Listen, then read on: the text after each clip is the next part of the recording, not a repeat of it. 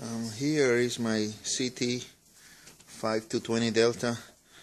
Um, I ordered five or six years ago, and it being a, a good machine for me. Um, I mount this to the side to make it a more accessible. Uh, inverter technology.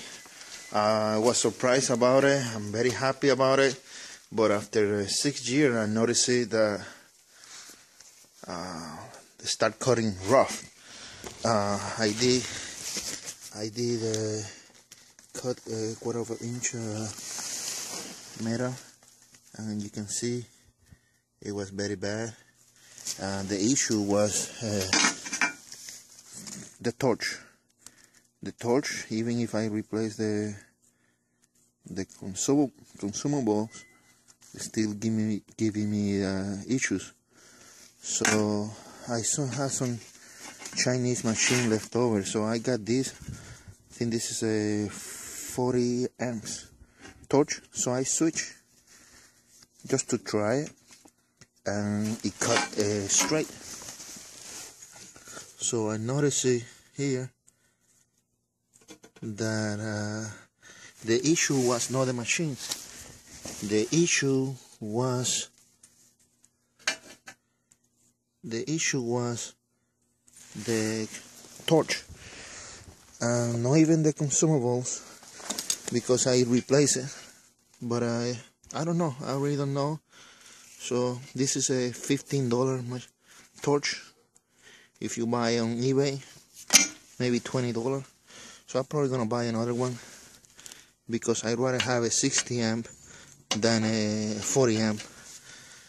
Uh, another thing that I want to bring up.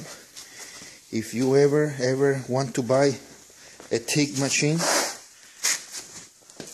if you ever want to buy a TIG for to weld aluminum please do not I will say it again do not buy this brand Tosense this machine lasts me only three hours. Okay? Buy this one. HTP a lot a lot of better uh, technology digital. And this baby uh, I'm a newer uh, welding aluminum and I learn from it and I love it. So never ever ever buy uh, this Chinese machine. Uh, I pay uh, over $800 and I lost my money. I contacted the, the customers support never help me never help me. So please avoid this brand and avoid it at all costs. I will take this.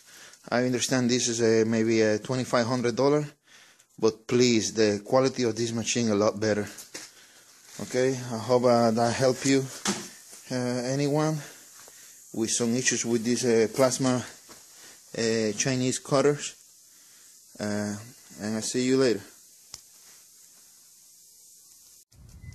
Here is a, a cut with a new uh, 40 amps torch. And he did a lot of improvement.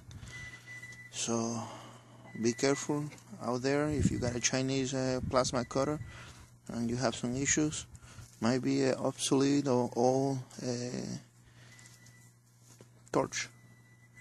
Uh,